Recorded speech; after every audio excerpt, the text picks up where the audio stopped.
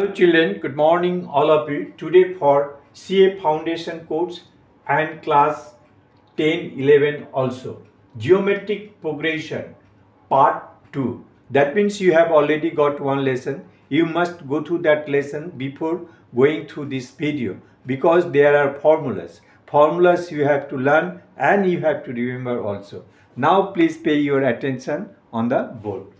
Sums number 1 find the number of terms of a GP whose first term is this, common ratio is 2 and the last term is 384. Solution. Here first term A equal to 3 by 4, common ratio R equal to 2 and last term L equal to 384. We have to find out number of terms. Let the number of terms be n. Then by the problem last term is given here 384. So L equal to a r to the power n minus 1 this is the formula we are get getting from video 1 part 1 video you will get this formula. And after writing the formula we have to write the relevant values. That is last term 384 first term 3 by 4 and common ratio that is common ratio 2 2 to the power n minus 1 and then by cross multiplication we are getting 384 into 4 equal to 3 into 2 to the power n minus 1. Now this 3 is coming right side to left side so it will be divided by cancellation it is coming 128 into 4 equal to 2 to the power n minus 1.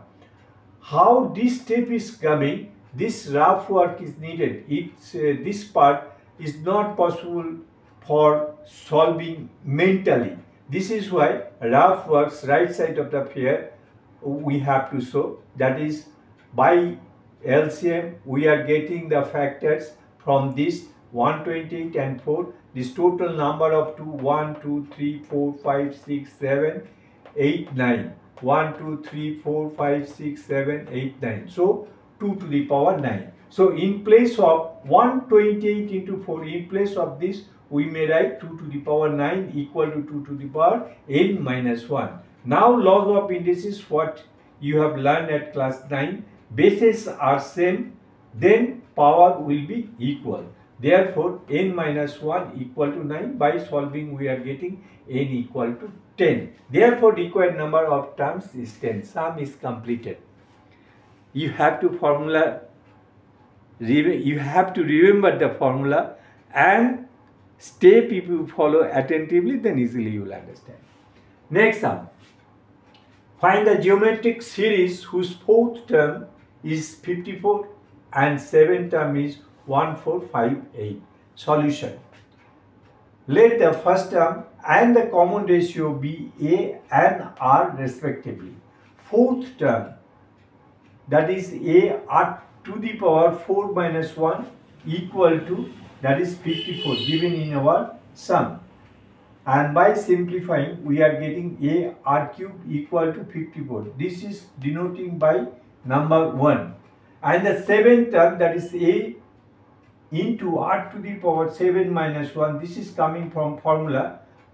What you have learned at part 1 video on geometric progression and here it is given 1458 after writing and simplifying, we are getting this. This is denoting by 2.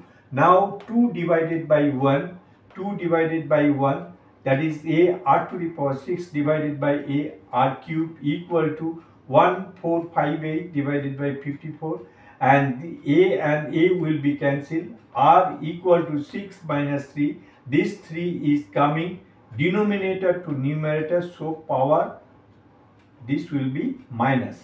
And by cancellation it is coming 27 so r cube equal to uh, 27 cube root of r that is 3 cube root that is 27 if you take the cube root that is 3 into 3 into 3 therefore r equal to 3 i think it is clear now putting r equal to 3 in 1 in 1 that is a r cube equal to 54 that is in place of r that is we are getting 3 so in place of r we are putting 3 cube equal to 54 and a equal to cube means 27 3 cube.